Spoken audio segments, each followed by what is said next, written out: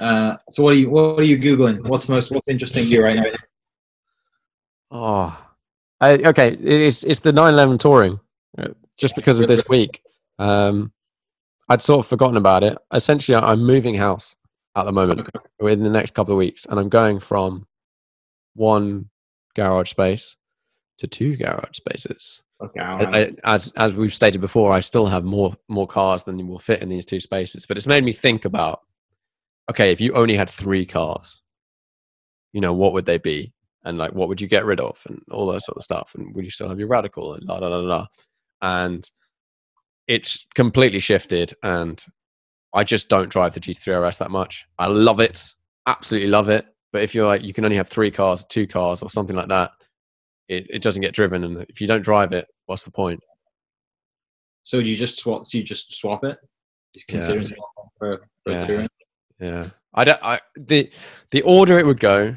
I don't know. We haven't mentioned this car yet, but the F40 I was is holding off on that one. that is that would be the first one. That's the first one to go. It's an absolutely phenomenal car, um, Yeah.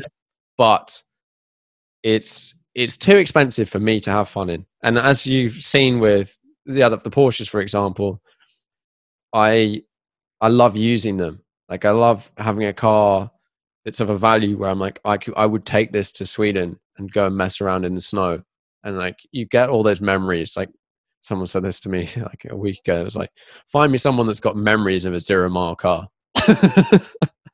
Yeah. like you don't have that, and when you event invariably sell the car at some point in time, and you've kept it because it might be worth something later, I.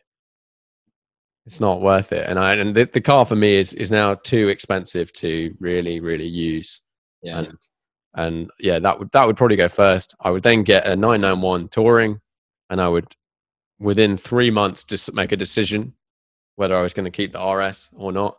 That would probably, and then let's say the RS goes, and then I want some sort of convertible. So I've been looking at like cheap, convert, cheap-ish convertibles, like 987 Boxsters and stuff, because I just, but then I don't want to have three, four Porsches. That just seems weird.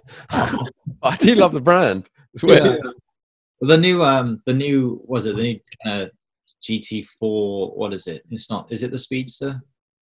Yes, Not But there's two. Okay, so there's the the 98 the 98 the baby. there's the. Speedster, which is the 911, and then there's the baby one, which is the 718. Is it Speedster? Something like that.